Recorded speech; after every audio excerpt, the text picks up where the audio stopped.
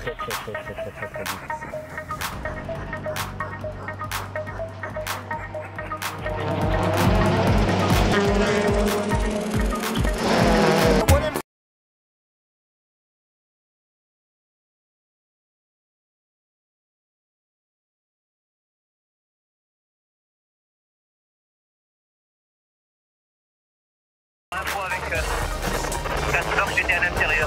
Donc j'ai bien fait. You look so amazing, that's an understatement. You just keep me waiting, got me so impatient. Now tell the DJ to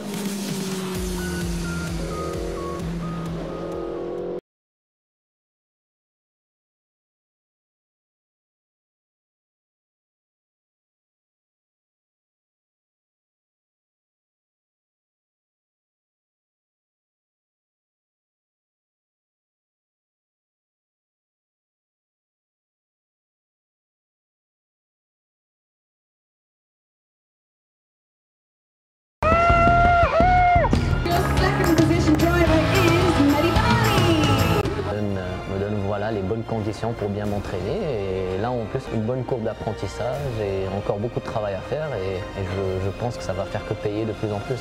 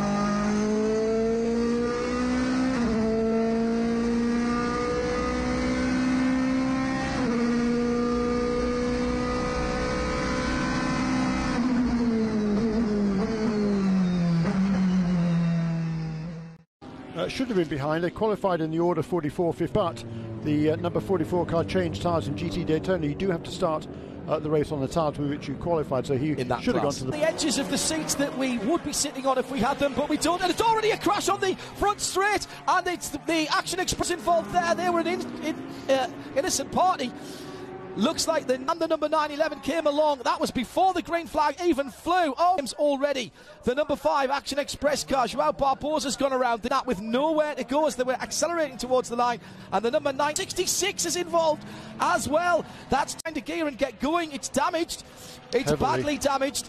He's sitting on the left hand side of the car, and that's good because if he's on the right hand side, he wouldn't be able to see anything, Jeremy. That right front wing, the front fender, is up in the air, and he's going to try and get that car back to the mechanics to try and get them to get it put back together again. Is that just bodywork or is there some frame damage? I'm not sure. Don't know about frame damage, but uh, certainly likely suspension damage.